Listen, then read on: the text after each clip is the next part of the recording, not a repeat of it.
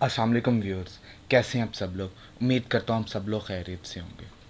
آج کی ویڈیو ایک بہت ہی زیادہ کریٹیکل ٹاپک پہ ہے، اور وہ ٹاپک ہے کشمیر۔ میں یہ ویڈیو بنانا نہیں چاہ رہا تھا، لیکن مجھے بنانی پڑ رہی ہے۔ کیونکہ میرا ضمیر مجھے اس بات پر ملامت کر رہا تھا کہ اس ایشو پر اپنی آواز اٹھاؤ۔ میں مسلمان ہوں، اگر میں ظلم کے خلاف آواز نہیں اٹھاؤں گا تو مجھ میں اور ظالم میں کیا فرق رہ جائے گا؟ ہمارے مذہب میں ایک بہت ہی اچھی چیز ہے۔ وہ اچھی چیز یہ ہے کہ اگر آپ ظلم دیکھو اور اس کے خلاف کچھ کر نہ سکو، تو کم از کم اس کو برا بلا کہہ دو۔ اگر برا بلا بھی نہیں کہہ سکتے، تو کم از کم دل میں یہ چیز مانو کہ وہ چیز بری ہے۔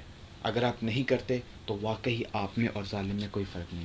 کشمیر کا مسئلہ آج سے نہیں، کشمیر کا مسئلہ تب سے ہے جب براسگیر کی سیپریشن ہوئی۔ سیپریشن کے بعد تقریباً 562 پرنٹ سٹیٹ کا ایشو تھا۔ سب سٹیٹ کا ایشو سالو ہو گیا اینڈ پر صرف تین سٹیٹ بچ گئے اور وہ سٹیٹ ہیں حیدرآباد جوناگڑھ اور کشمیر۔ حیدرآباد اور جوناگڑھ کی میجورٹی ہندو تھے لیکن ان کے حکمران مسلمان تھے۔ تو انڈیا نے ایک ایجنڈا شروع کیا۔ اس ایجنڈے کو پارٹیشن ایجنڈا بھی کہتے ہیں۔ اس ایجنڈے میں یہ تھا کہ جو میجورٹی ہے وہ اس ملک میں چلی جائے گی۔ اگر مسلمان ہیں تو پاکستان میں اگر ہندو ہیں تو انڈیا میں۔ اور اس طرح حیدرآباد اور جوناگڑھ میں ہندو میجورٹی زیادہ تھی، اس وجہ سے وہ انڈیا میں چلی گئی۔ لیکن جب آئی بات کشمیر، یہاں پر تھی میجورٹی مسلمانوں کی، لیکن حکمران تھا ہندو۔ اور وہ ہندو حکمران چاہتا تھا کہ کشمیر انڈیا کا حصہ بن جائے۔ یہی وجہ ہے کہ پارٹیشن کے دو منتھ بعد تک کشمیر آزاد رہا۔ پھر ہندو حکمران، جس کا نام ہری راجا تھا، نے زبردستی اعلان کیا کہ کشمیر انڈیا کے ساتھ۔ اور اس کے اس فیصلے کی وجہ سے کشمیر کا ایشو آج تک چل رہا ہے۔ انڈیا نے اپنا ہی بنایا گیا پارٹیشن ایجنڈا کو ختم کر دیا اور پاکستان اس کو آج تک انفنش ایجنڈا بھی کہتا ہے۔ اس کے بعد 1948 میں جنگ ہوئی۔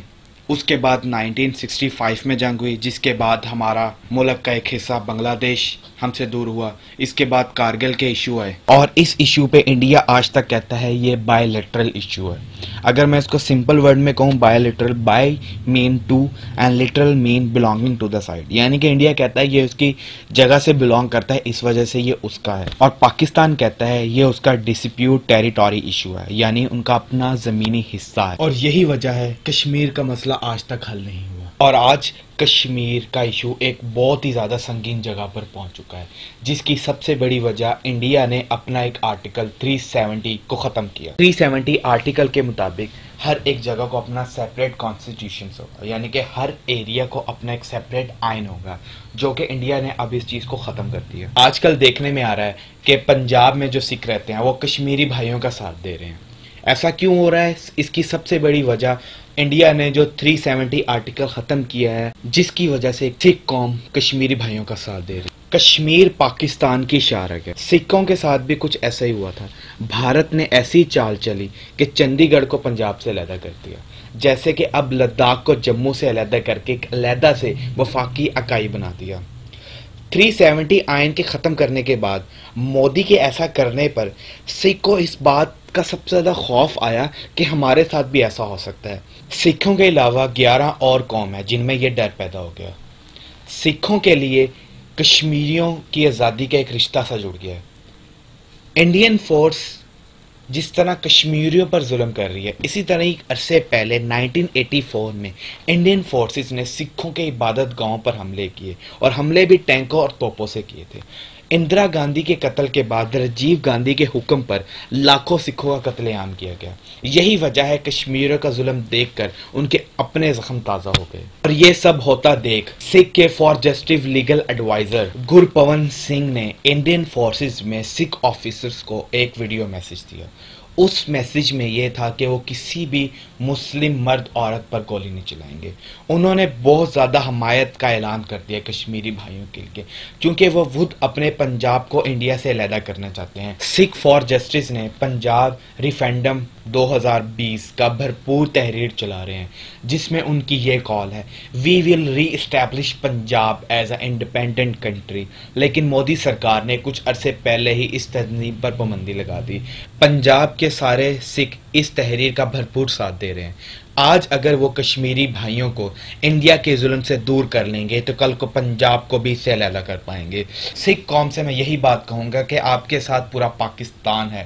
ظلم کے خلاف سکھ کھڑا ہے اور سکھ کے ساتھ پورا پاکستان کھڑا ہے۔ مودی یہ اس وجہ سے بھی کر رہا ہے کہ کرتارپور کوریڈور کا پروجیکٹ ختم ہو جائے، جس کی وجہ سے سکھ کو اپنے مذہبی جگہ پر آنے سے دور کیا جائے۔ انڈیا کے پنجاب کے وزیر اعلیٰ۔ نے اس کی بھرپور خلاف ورزی کرتے ہوئے کہا ہے کہ یہ سیاہ ترین دن ہے اور کہا ہے گورنمنٹ ایسے کچھ بھی کر سکتی ہے، کہیں بھی کرفیو لگا سکتی ہے اور لوگ اپنے گھر میں محدود ہو کر بیٹھ سکتے ہیں۔ نہ ان کو کھانے کے لیے کھانا مل سکتا ہے اور نہ پینے کے لیے پانی۔ فون تک بند کر کے بے یارو مددگار چھوڑ دیا جاتا ہے۔ ایٹ دا اینڈ میں بس اتنا کہوں گا کہ ہم جس مرضی مذہب سے تعلق رکھتے ہیں، تو کیا ہمارا مذہب اس بات کی اجازت دیتا ہے کہ ہم مظلوم لوگوں پر ظلم کریں، ان لوگوں پر جو کہ نہتے ہیں، اور ہم ان پر گولیوں کی بارش کریں؟ ہماری ماں بہنوں کی عزت کے ساتھ کھیلا جائے۔ یہاں بات مسلمان ہندو کی نہیں، یہاں بات انسانیت کی ہے۔ ہر انسان میں اس کا ضمیر ہوتا تو ضرور ہے، بس یہ دیکھنا ہے کہ وہ جاگ رہا ہے یا مر گیا ہے۔ کشمیری بھائیوں، بہنوں، میں تمہارے ساتھ ہوں۔ اتنے سالوں سے جو ظلم، سہا ہے، اب اس کا خاتمہ ہوگا، انشاءاللہ۔